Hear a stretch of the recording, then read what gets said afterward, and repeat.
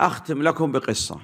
آه، في دولة من دول أوروبا الشرقية كان المركز الإسلامي عن يمينه خمارة وعن يساره خمارة وأمامه خمارة. والله. نعم. في هذه التي الخمارة التي أمام المسجد يوجد عندهم بودي جارد نعم. security guard. نعم. نعم. نعم. هذا والله ممكن لا يدخل من هذا الباب. ما شاء الله. نعم. طول في عرض. هذا ال bodyguard security نعم. هذا ينظر دائما إلى الناس يدخلوا المسجد. هو يريد يعرف ما ماذا داخل المسجد. نعم. قوي. دخل المسجد. صعد فوق. وجد مسلمين. لم يجدهم يلعبوا في الهواتف. لم يجدهم متكئين. قهوة وشاي ولا كان حسب هذا؟ نفس المكان الذي كان فيه. لا وجدهم يصلون يدرسوا يقرأوا قرآن. قال إيش تصنع هنا؟ أنياس هم سالوه لا هو يسأل. نعم. قال نعبد الله. قال أين الخمر؟ قال لا يوجد خمر هنا. أين النساء؟ قال هناك عندهم مكان خاص. أين الغنى؟ قال ما يوجد عندنا غنى عندنا قراءة قرآن. قالوا سبحان الله إذا أنا مسلم. أنا أريد الإسلام أريد معكم لا أريد مع هؤلاء. أسلم. رجع لزوجتي. قال أنا مسلم. لابد تدخلي في الإسلام. أسلمت. ثم يقول جاءت مناسبة عند أهل الزوجة. حفل نعم. أخذت يقول ال- ال- الزوجة ومشينا سفر تقريبا. ووصلنا إلى بيت أبو وأم الزوجة. لكن يقول رأيت أن المائدة عندنا فيها ملذ وطاب. هنا ما خاب وخسر هنا في الطاولة. نعم. خنزير وخمر وك- وكل شيء. فهو هذا بوديغارد يعني أخذ جانبا لم يجلس معهم. أبو الزوجة يسأل الزوجة. بنته؟ بنته نعم, نعم.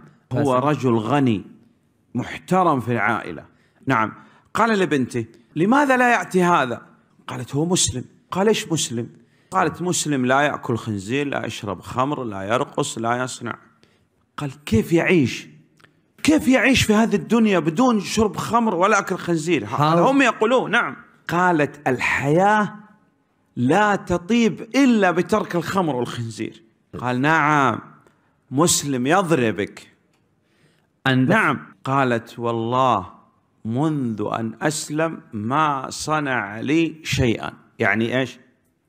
لا برفع الصوت ما بالك الضرب لأن الإسلام يأمر بالإحسان إلى الزوجة وعدم ضرب الزوجة. نعم. الأب مقعد. now مقعد. نعم. قال لها أحضري زوجك. جاء هذا. بدأ هذا يسبه. ويقول أنت كذا ولماذا تسلم ولماذا تصنع؟ كذا أنت تفرق عائلة تصنع. هذا يقول له دين الإسلام يمنعني أن أرد عليك لابد أن أحترمك. نعم ولا أرد هذا السب بسب.